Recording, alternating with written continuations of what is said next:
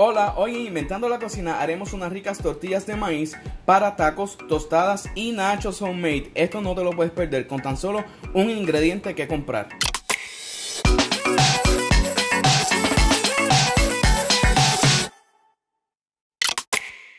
Vas a necesitar masa instantánea de maíz. En este caso yo usaré la más seca. Solamente necesitas la misma cantidad de harina que de agua. Voy a usar dos tazas de esa harina y dos tazas de agua.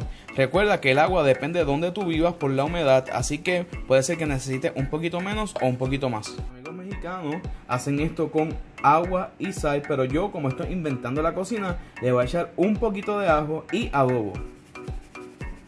Y amasamos con la misma mano. Esto va a llegar un momento que se te va a despegar. Es bien fácil y bien sencillo hacer esta masa. Alrededor de 30 segundos a 45, mira cómo queda la masa. Va a quedar bastante lisa. Y entonces voy a dividir en partes iguales para que las tortillitas me queden con el mismo tamaño. De las dos tazas de harina a mí me salieron para 16 tortillas. Una vez tengas dividida la masa, vas a hacer bolitas y las vas a poner entre dos plásticos y la vas a presionar. Yo no tengo la prensa para tortillas, pero tengo algo duro, así que voy a usar la tabla de picar y aplasto. Una vez aplaste, miren, me salió la tortilla. Un sartén un comal, puedes echar aceite y también puedes dejarlo sin aceite.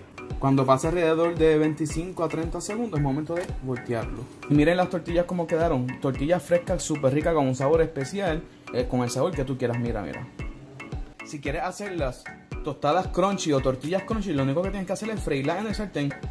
Si quieres nacho, lo único que tienes que hacer es picar la misma masa y echarlo a freír. Y ya tienes tus nachos frescos y homemade. Estas tortillas, nachos o tostadas, las acompañas con lo que tú quieras. Yo las acompañé con un rico pernil, sour cream, pico de gallo, guacamole y refrito. Así que estamos ready.